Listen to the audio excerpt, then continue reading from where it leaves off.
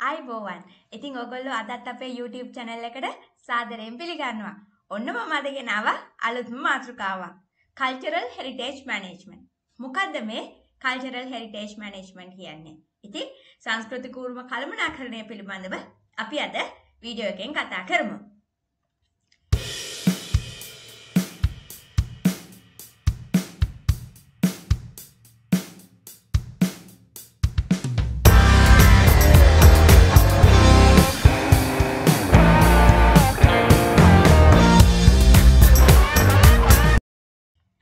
ඉතින් ඕගොල්ලෝ තාමත් මගේ YouTube channel එක subscribe කරලා නැත්නම් subscribe කරන්නත් අමතක කරන්න එපා.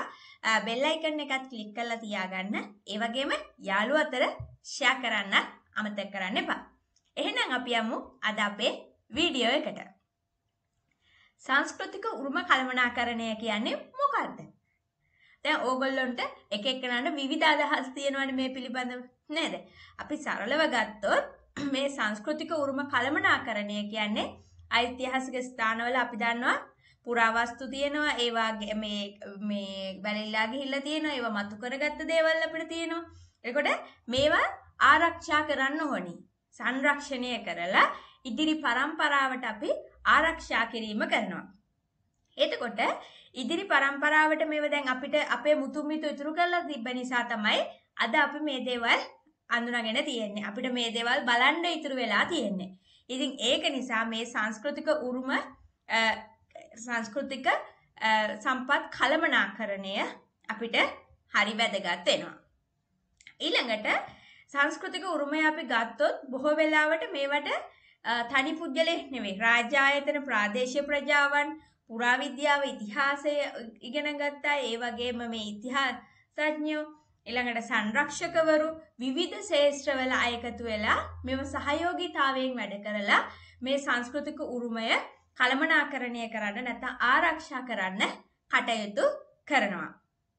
එතකොට අපි ගත්තොත් සංස්කෘතික උරුමය පිළිබඳව අපිට කතා කරන්න පුළුවන් විවිධ දේවල්. නේද සංස්කෘතික උරුම කියන්නේ මොනවද? විවිධ නිර්වචන අපිට තියෙනවා. අපි ප්‍රධාන වශයෙන් බලමු සංස්කෘතික උරුම කළමනාකරණය කරන්න මොන වගේ පියවරයන්ද අනුගමනය කරන්න කියලා.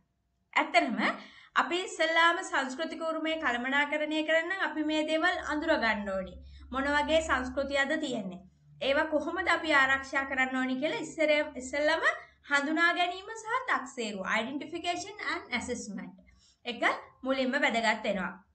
එතකොට මේකෙදි සම්පත් හඳුනාගෙන ඒ වගේ තත්ත්වය සහ තක්සේරු කිරීම කරනවා. මේක මෙච්චර කාලයකට පැරණි මේක මෙච්චර කාලයකට පැරණි අපි මෙන්න මේ නිසයි මේවා ආරක්ෂා කරන්න ඕනි කියලා අපි තක්සේරු කරනවා. ඊළඟට අපි ගියපුවාම මොකද වෙන්නේ? මේවා ඩොකියුමන්ටේෂන්. අපි ගොඩක් කලාවටයි මේවා ඩොකියුමන්ටේෂන් කරන්නේ නැත්නම් ලේඛනගත කරන්නේ. ඇත්තරම සංස්කෘතික උරුමය කියන්නේ අපිට නැති වුණොත් ආපහු හදන්න පුළුවන් දෙයක් නෙවෙයි. ඒ හින්දා අපි කරන හැමදේම ඊට සූක්ෂමව සහ ආරක්ෂිතව සිද්ධ කරන්න ඕනි. ඒක නිසා අපි ලේඛනගත කිරීම කරනවා. ලේඛනගත කිරීම කියපුවාම අපිට ඒක ඩිජිටල්කරණයට ලක් කරන්න පුළුවන් නැත්නම් අපි ඒවා මේ අතින් ලියලම කරන්න පුළුවන් නැත්නම් අපිට පුළුවන් ඡායාරූප හරහා මේවා විස්තර කරන්න නැත්නම් අපිට යම්කි සොෆ්ට්වෙයාර් එකක් භාවිතා කරලා කරන්න පුළුවන්. ඉතින් ඔයගේ විවිධ ක්‍රම වර්තමානයේ වෙදී දියුණු වෙලා තියෙනවා.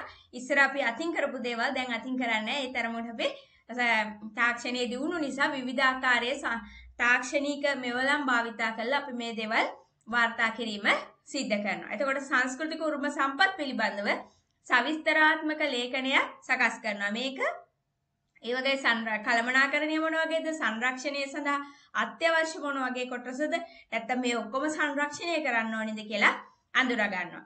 ඊළඟට මෙම ඓතිහාසික පර්යේෂණ ඡායාරූපගත කරනවා. නැත්නම් සිතියම් ගත කරනවා. වාචික දේවල් ඉතිහාසගත කරන එක ඩොකියුමන්ටරි වගේ දේවල් හදනවා. මේ වගේ දේවලුත් අපි මේ ඩොකියුමන්ටේෂන් එකදී අපිට කරන්න පුළුවන් වෙනවා. ඊළඟට ගත්තහම අපි මේවට කන්සර්වේෂන් ප්ලෑනින් හදන්න ඕනි. හිතුමතේට අපිට ගෙව කරන්න පුළුවන් අපේ සංස්කෘතිකම අපිට විනාශ වෙන වෙන්න දෙන්න බැහැනේ.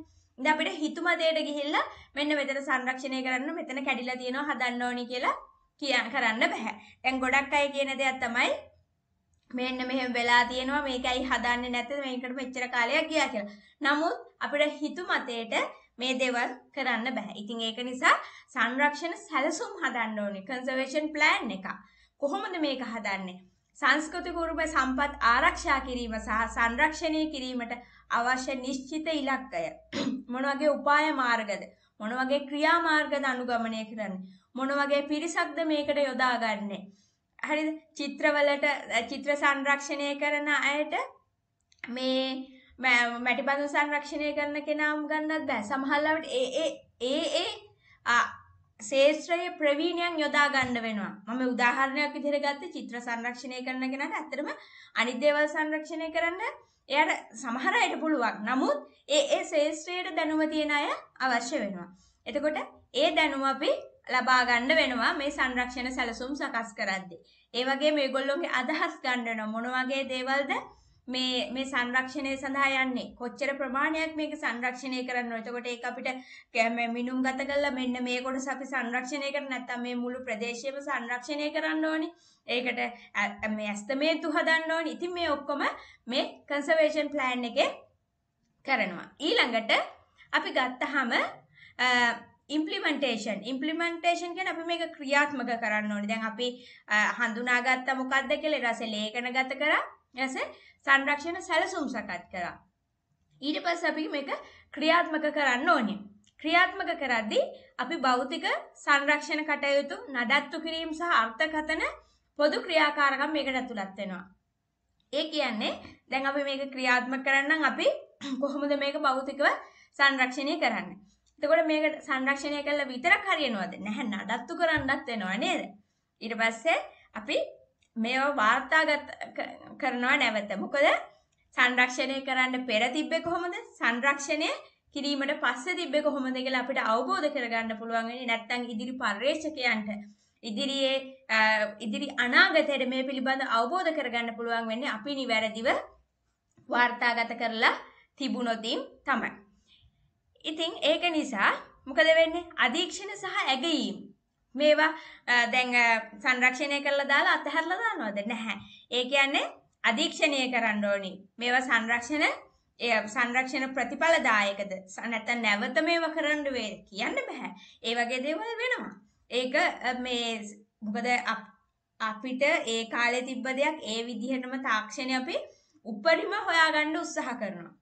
ඒ හොයාගෙන ඒ ඒ උජිතම දේ පාවිච්චි කරන්න බලනවා. නමුත් යම් අවස්ථාවල Ehm, හානියක් වෙන්න පුළුවන්. ඒක බැරි කමක් නැහැ. ඉතින් ඒව නිසා ඒ හානිය අවම කරන්න තමයි හැම වෙලෙම කටයුතු කරන්නේ. ඉතින් ඒ හානිය මොකද සංස්කෘතික මං කියන්නේ සංස්කෘතික උරුමයකට හානියක් වුණොත් අපිට ඒක නැවත ගොඩනගන්න පුළුවන් දෙයක් නෙවෙයි. ඉතින් සහ අපි ගොඩ නැගුවත් ආකෘතියක් නමුත් අපිට අර වටිනාකම ඒකට දෙන්න බැහැ. ඉතින් ඒක නිසා අපි හැමදාම පරීක්ෂමේ මේ සංරක්ෂණ කටයුතු සිද්ධ කරන්න ඕනේ. එතකොට මේ උරුම සංස්කෘතිය මේ සංස්කෘතික උරුමය කළමනාකරණය කරද්දී මේ අධීක්ෂණය සහ ඇගීම ඉතා වැදගත් වෙනවා. ඊළඟට අපිට විවිධ පාර්ශවකරුවන්ගේ සහභාගීත්වය ගන්න වෙනවා. stakeholder engagement. අපිට මේක තනියම ගොන් හැමදේම අපිට තනියම කරන්න බෑ. මොකද පුරා විද්‍යාඥයාට විතරකුත් කරන්න බෑ ඉතිහාසඥයන් පමණකුත් මේ දේවල් කරන්න බෑ. ඉතින් ඒකට සංස්කෘතික උරුම කළමනාකරණයට අදාළ තීරණ ගැනීමේදී මේ ක්‍රියාවලියන් ක්‍රියාත්මක කිරීමේදී ප්‍රාදේශීය ප්‍රජාවගේ රාජ්‍ය ආයතන විද්වතු උරුම සංවිධායක සහ විවිධ පාර්ශවකරුවන්ගේ උපදෙස් ගන්න වෙනවා. උදාහරණයක් විදිහට ගත්තොත් අපි සංස්කෘතික උරුම ස්ථානයක් අපි මොනහරි සංරක්ෂණ කටයුත්තක් හරි නටත්තු කටයුත්ත මොනහරි දෙයක් කරනවා කියන්නේ ඒ ස්ථානයක් හැනීමකට ලක් කරනවා හරි ඉතින් අපි මේවට පළමු වශයෙන් අවසර ගන්න ඕනි. ඒ ඒ රාජ්‍ය ආයතන දැන් සියලුම සංස්කෘතික උරුමයන් අයිති පුරාවිද්‍යා දෙපාර්තමේන්තුව පුරාවිද්‍යා දෙපාර්තමේන්තුව හරහා ඒ ඒ ඉඳලා ඒ ප්‍රදේශයේ ඉන්න ග්‍රාම ග්‍රාම නිලධාරී දක්වා මේ දේවල් අයිති වෙනවා. මොකද ඒගොල්ලේ සියලු දෙනාගේ අවසර අරගෙන ඒගොල්ලෝ දැනුවත් කරලා මේ කටයුතු ආරම්භ කරන්න ඕනේ. නැතුව අපිට හිතුනට ගිහිල්ලා එතන කැනීමක් කරන්න හෝ අපිට එතන සංරක්ෂණ කටයුත්තක් කරන්න බෑ. ඒ ඒ පාර්ශවයන් දැනුවත් කළා ඒ පාර්ශවයන්ගේ අවශ්‍ය ලියකිවිල සකස් කරලා තමයි අපිට ඒ දේවල් කරන්න වෙන්නේ. ඉතින් සංස්කෘතික උරුම සම්පත් ඵලදායී කළමනාකරණය සංරක්ෂණය සහතික කිරීම මේ සෑම පියවරකදීම ඊටාම වැදගත් වෙනවා. ඊළඟට මම කතා කරන්න යන්නේ අපි දැන් සංස්කෘතික උරුම සම්පත් කළමනාකරණය කරනවානේ. එතකොට අපිට මේවා මේ කල්චරල් හෙරිටේජ් මැනේජ්මන්ට් ඇයි අපිට වැදගත් වෙන්නේ? හරිද? අපිට තියෙන World Heritage Day කියලා නේද? සංස්කෘතික සම්පත් ඒ කියන්නේ මේ කළමනාකරණය කරන්න මේවා ලංකාව විතරක් නෙවෙයි ලෝකේ හැම රටකම තමන්ගේ තියෙන සංස්කෘතික උරුමය ආරක්ෂා කරන්න අවධානය යොමු කරනවා. ඉතින් ඒක නිසා මේ උරුම කළමනාකරණය අපිට හේතු කීපයක් නිසා අපිට වැදගත් කියලා හඳුනගන්න පුළුවන්. වැදගත් වෙනවා කියලා අපිට කියන්න පුළුවන්. preservation of history and identify. කොහොමද මේ දේවල් නැත්නම් ඉතිහාසය සහ අනන්‍යතාවය සුරකීම කියන එක අපිට වැදගත් වෙන්නේ ඇයි? අපි ගත්තොත් මේ මේ සංස්කෘතික උරුම සම්පත් අතීතයට ස්පර්ශ කළ හැකි සම්බන්ධයක් තියෙනනේ. අපි අතීතයට ගිහිල්ලා අපිට සමහර දේවල් අල්ලලා බලන්න බැරි වුණාට අපිට මේ ඉතුරු වෙලා තියෙන දේවල් හරහා අපේ අනන්‍යතාවය අපේ සංස්කෘතික උරුමය මොන වගේද තිබ්බේ අපේ ඉතිහාසය මොන වගේද තිබ්බේ කියලා අපි කතා කරනවා නේද? ඊළඟට අනන්‍යතාවය සහ සම්ප්‍රදායන් අවබෝධ කර ගැනීමට මේවා අපිට උපකාරී වෙනවා. එතකොට මේ දේවල් අපිට අපේ ඉතිහාසය මොන වගේද අනන්‍යතාවය මොන වගේද මොන වගේ සම්ප්‍රදායන්ද තිබ්බේ කියන්න අපිට ඉතා වැදගත් වෙනවා. ඒ නිසා මේ සම්පත් කළමනාකරණය සහ සංරක්ෂණය කිරීම අනාගත පරම්පරාවට ඉගෙන ගැනීමට සහ ඒවා අගය කිරීමට ඒවා ඒගොල්ලන්ට සියසින් දැක බලා ගන්න මේ සංරක්ෂණ කාර්යය උපයෝගී වෙනවා. ඊළඟට අපි ගියපුවාම සංචාරක සහ ආර්ථික සංවර්ධනය ටුවරිසම් ඇන්ඩ් ඉකොනොමික් ඩිවලොප්මන්ට් දැන් අපිට මේ සංස්කෘතිය තියෙන නිසා නෙවෙයිද විදේශිකයන් ලංකාවට එන්නේ මේ දේවල් බලන්න. ඇත්තටම මේ දේවල් තියෙන නිසා තමයි විදේශිකයන් ලංකාවට ඇවිල්ලා මේවා බලන්නේ. ඉතින් ඒක නිසා සංස්කෘතික උරුම ස්ථාන සහ බිම් සලකුණු බොහෝ වෙලාවට මේ සංචාරකයින්ගේ ආකර්ෂණය දිනා ගන්නවා. මේක ආකර්ෂණය දිනා ගත්තාම ඒගොල්ලෝ ලංකාවට එනවා කියන්නේ අපේ දේශීය ආර්ථිකයට මෙය පිටුවහලක් වෙනවා. ඊළඟට ඵලදායී කළමනාකරණය මේ කිරීම තුළින් මේ වගේ අඛණ්ඩතාවය සහ ආකර්ෂණීය ස්ථාන අපිට ඒ ආකාරයෙන් පවත්වා ගන්න ඒ ප්‍රදේශයේ ආර්ථිකත්වයට වගේම රටේ ආර්ථික සංවර්ධනයට මේවා හේතුවක් බවට පත් වෙනවා. ඊළඟට අපි ගත්තාම සමාජ ඒකාබද්ධතාවය සහ ප්‍රජා අභිමානය. මොකද්ද මේ? social cohesion and community pride. මොකද්ද මේ?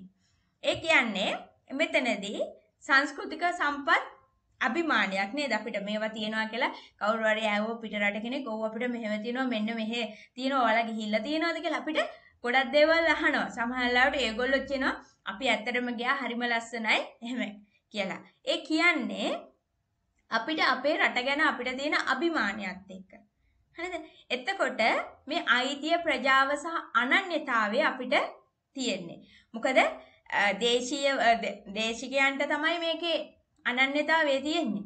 ඒකේ ප්‍රජා අයිතිය තියෙන්නේ ඒගොල්ලොන්ට මහජනතාවට. එතකොට මේ සම්පත් කළමනාකරණය කිරීම සහ ප්‍රවර්ධනය කිරීම සමාජ සහජීවනය ශක්තිමත් කළ හැකි දෙයක්. එතකොට විවිධ ප්‍රජාවන් මේ උරුමයට හවුල් කරගන්න අපිට සිද්ධ වෙනවා. එතකොට මේ ප්‍රවර්ධන කටයුතු වල විවිධ පාර්ශවකරුවන්ගේ සම්බන්ධතාවයන් යොදාගෙන සමාජ ඒකාබද්ධතාවයක් කරගෙන තමයි මේ දේවල් ආරක්ෂා කරගන්න රැකගන්න වෙන්නේ. එතකොට මේ උළුම කර්මනාකරණීය කියන්නේ ඇත්තටම සියලු දෙනාම එකතු වෙලා කරන දෙයක්. ඊළඟට අපි ගත්තාම පරිසර සංරක්ෂණය.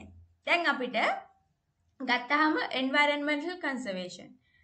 දැන් මෙහෙම ගත්තොත් ප්‍රධාන දේ තමයි අපිට පුරාවිද්‍යා උරුම තියෙනවා කියලා පරිසරය විනාශ කරලා දාන්නත් බෑ. එතකොට මේ දේවල් අපි බැලන්ස් කරලා නැත්නම් සමබරව ආරක්ෂා කරගන්න ඕනේ. එතකොට බොහෝ සංස්කෘතික උරුමයන් පිහිටලා තියෙන්නේ ස්වභාවික පරිසරවල. එතකොට ජෛව විවිධත්ව සංරක්ෂණයටත් මේක දායක වෙනවා. එතකොට මේ මේ දේවල් අපි නිසියාකාරව අවබෝධ කරගෙන පරිසර පද්ධතීන් ආරක්ෂා කරමින් පාරිසරික දැනුවත්භාවයත් එක්ක මේ දේවල් සංවර්ධනය කරන්න කටයුතු කරන්න ඕනි. ඊළඟට ගත්තහම environment educational and research value අධ්‍යාපනික සහ පර්යේෂණ වටිනාකම. ඇතර මේ හැම දෙයකම අධ්‍යාපනික සහ පර්යේෂණ වටිනාකමක් තියෙනවා. අධ්‍යාපනික කියලා ගත්තහම අපි මේ ඉතිහාසය පිළිබඳව අපි එදා නිර්මාණය කරපු දේවල් අද ගත්තොත් අපිට ඒ වටිනාකම කියලා නිම කරන්න බෑ. මොකද අපිට එදා ඒ දවසට අපිට යන්න බැහැනේ. ඒකට අපිට ඒක දැන් ඒ කාලේ නිර්මාණය කරපු දේවල් සමහර දේවල් අපිට හිතා ගන්නවත් බෑ කොහොමද මේවා තාක්ෂණයක් නැතුව නිර්මාණය කරේ කියලා. දැන් අද අපි ගත්තොත් සෑම සෙසුටම තාක්ෂණය යොදාගෙන කරන්නේ. නමුත් ඒ කාලේ අපේ මුතු මිත්තෝ තාක්ෂණයේ දැනුමකින් ඒ කියන්නේ මේ වගේ තාක්ෂණයක් නැතුව ඒගොල්ලොන්ගේ සියලු දැනුම යොදාගෙන ඉතා විශාල දේවල් නිර්මාණය කළා තියෙනවා. සමහර අදටත් දේවල් විස්මජනකයි. ඉතින් මේ වගේ දේවල් වල අධ්‍යාපනික වටිනාකම තියෙනවා වගේම අධ්‍යාපන වටිනාකමක් තියෙන නිසා මේවා පර්යේෂණය කටයුතු වලට යොමු වෙනවා. ඉතින් මේ පර්යේෂණ වටිනාකම කියන දේ අද අපිට වචනයෙන් නිම කරන්න බෑ. මොකද විවිධ ශේෂ්ත්‍ර හරහා විවිධ විද්වතුන් හරහා විවිධ පර්යේෂකයෝ මේ දේශීය මෙන්ම විදේශීය පර්යේෂකයන් පර්යේෂණ කටයුතු සිද්ධ කරනවා. එතකොට සංස්කෘතික සම්පත් සිසුන්ට එවගේම පර්යේෂකයන්ට සහ මහජනතාවට වටිනා අධ්‍යාපන අවස්ථාවක් සපයනවා. මේ දේවල් බලන්න ගියපුවාම සෑම කෙනෙක්ම නව දෙයක්, නව දැනුමක් එකතු කර ගැනීම සිද්ධ වෙනවා. ඊළඟට ඵලදායී කළමනාකරණය මේ සම්පත් අධ්‍යයනය සහ ගවේෂණය. එතකොට ඒ තුලින් මොකද වෙන්නේ? මේවා සහතික කරන්න නැත්නම් මේවාට අපි වටිනාකමක් දෙනවා. ඒ වටිනාකම නිසා අපි මේවා ආරක්ෂා කරන්න පෙළඹවෙනවා. එතකොට මොකද අපි කිව්වනේ මේක තනි කෙනෙකුට තනු පුද්ගලයෙකුට හෝ ආයතනයකට හෝ මේ දේවල් කරන්න බෑ. එතකොට ඒකට සමාජයේ පිරිස එකතු වෙන්න ඕනේ. ඒ සමාජයේ පිරිස එකතු වෙලා තමා වැඩ කරන්නේ. එතකොට සමස්තයක් වශයෙන් අපි ඇත්තරම ගත්තොත් සංස්කෘතික උරුමය කළමනාකරණය වර්තමානය සහ අනාගත පරම්පරාව තියෙන වටිනා සම්පතක්. එතකොට මේ වටිනා මේ සංස්කෘතික විවිධත්වය ඉතිහාසය සහ උරුමය ආරක්ෂා කිරීමට මේ සියලු දෙනාට පැවරිලා තියෙන තීරණාත්මක කාර්යභාරය. එතකොට ඒ තීරණාත්මක කාර්යභාරය කරන්න විවිධ පුද්ගලයන් එකතු වෙලා විවිධ තීරණ අරගෙන විවිධ නීති පනවමින් නීති රෙගුලාසි පනවමින් මේ දේවල් ආරක්ෂා කරන්න කටයුතු කරනවා. ඒ කටයුතු කරද්දී ඒ මහජනතාව වශයෙන් සියලු දෙනා ඒ දේවල් වලට ගරු කරමින් සහ ඒවා පිළිපදමින් මේ සංස්කෘතික උරුම කළමනාකරණයට දායක වෙනවා නම් අපිට තියෙන අපේ සංස්කෘතික උරුමය ආරක්ෂා කරගන්න ඉතා පහසුයි. ඉතින් ඔන්න ඕක තමයි අපි සංස්කෘතික උරුමයේ අපිට තියෙන වටිනාකම සහ අපි ඇයි දේව දේවල් ආරක්ෂා කළ යුත්තේ කියලා. ඉතින් සංස්කෘතික උරුමය සම්බන්ධව ඔගොල්ලෝ ගොඩක් දේවල් ඉගෙන ගන්න ඇති. තව අපිට ගොඩක් දේවල් තියෙනවා මේ පිළිබඳව අපිට දීර්ඝ වශයෙන් පැය ගාණක් කතා කරන්න පුළුවන් අපේ සංස්කෘතික උරුමය ගත්තොත්. මම මෙතනදී කතා කරේ සංස්කෘතික උරුමය කියන්නේ මොකද්ද? මොන වගේ පියවරයන්ද සංස්කෘතික උරුමය ආරක්ෂා මේ කරන්න අනුගමනය කරන්නේ සහ සංස්කෘතික උරුමය ආරක්ෂා කිරීම වැදගත් වන්නේ ඇයි කියලා. ඉතින් Wonder of History channel එකත් එක්ක සම්බන්ධ වෙලා ඉන්න ඔයාට හැමදාම අලුත් දේවල් කතා කරන්නේ. ඕගොල්ලෝ ලබා ගන්න දැනුම තව කාට හරි දෙන්න. මොකද දැනුම ලබාගෙන තව කාට හරි දෙද්දී තමන්ගේ දැනුම වර්ධනය වෙනවා මිසක් තමන්ගේ දැනුම ඇති වෙලා යන්නේ නැහැ. ඉතින් තමන් ඉගෙනගත්ත චූටි දේ වුණත් තව කෙනෙකුට තව දරුවෙකුට තව වැඩිහිටියෙකුට කියලා දෙන්න. එතකොට ඔයාගේ දැනුමත් අලුත් වෙලා ඔයත් පරිණත කෙනෙක් වෙනවා. ඔයාගේ දැනුම වර්ධනය වෙනවා කියන්නේ ඔයත් සෑම ශේෂ්ත්‍රයක්ම හොයලා බලන්න.